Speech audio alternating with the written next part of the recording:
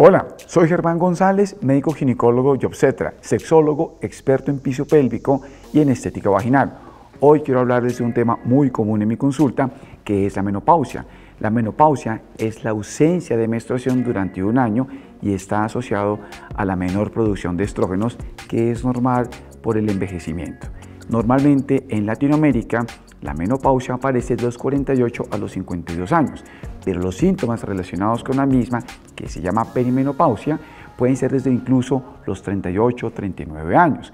¿Cuáles son esos síntomas? Calores, bochornos, sudoración profusa, irritabilidad, depresión, cambios de genio, disminución de la libido, incremento en la sequedad vaginal, puede encontrarse incontinencia urinaria, pérdida de orina con las actividades diarias, podemos encontrar osteoporosis y lo que es más grave, encontramos fracturas patológicas, alteraciones en el metabolismo de carbohidratos con incremento del riesgo cardiovascular y claramente sobrepeso, fatiga y demás.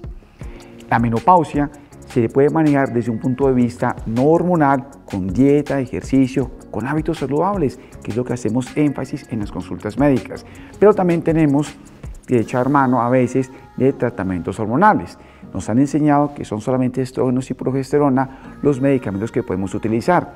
Ya hoy en día hay estrógenos en crema, en óvulos, en gel, ya no sea solamente el manejo oral, sino que hay otras formas de administración de hormonas similares a los estrógenos como la tibolona y hablando de nuevas terapéuticas encontramos el Chip o chip de testosterona. Ese chip de testosterona va en el tejido celular subcutáneo, ahí en la grasita de la cadera. Incrementa el nivel de testosterona, que es el precursor de hormona femenina y de hormona masculina. Al incrementar el estrógeno, pues van a mejorar los síntomas, principalmente el insomnio y conciliación, esa dificultad para encontrar un sueño que sea placentero y que sea realmente recuperador y también me va a mejorar inicialmente la libido. Más o menos hacia el mes encontramos un control de los síntomas vasomotores y en general todos los síntomas que les mencioné en menopausia se logran controlar con este chip de testosterona que se va a reabsorber solito en un espacio de unos 6 a 8 meses. También encontramos síntomas como la sequedad vaginal, como la incontinencia urinaria. Y de esta última vamos a hacer énfasis. Nos dicen que la incontinencia urinaria es normal en todas las señoras que han tenido bebé. No importa si es parto vaginal o si es cesárea, encontramos incontinencia urinaria, pero que no es un síntoma para consultar, que no hay nada que hacer, que hay que aprender a vivir con ello. La invitación es a que no, a que consulten con su especialista. Encontramos muchas pacientes con incontinencia urinaria que les da miedo preguntar la podemos resolver con láser vaginal o con silla de ondas electromagnéticas. El láser vaginal es una plataforma que dispara por dentro del canal vaginal estímulos térmicos en 360 grados de la vagina, incrementa el colágeno, incrementa la elastina y ¿qué encontramos después? Que la vagina se vuelve más contráctil, más lubricada, más sensible. Síntomas como la sequedad, la incontinencia urinaria van a mejorar. Es una sesión al mes por tres meses y los efectos se pueden ver más allá del año.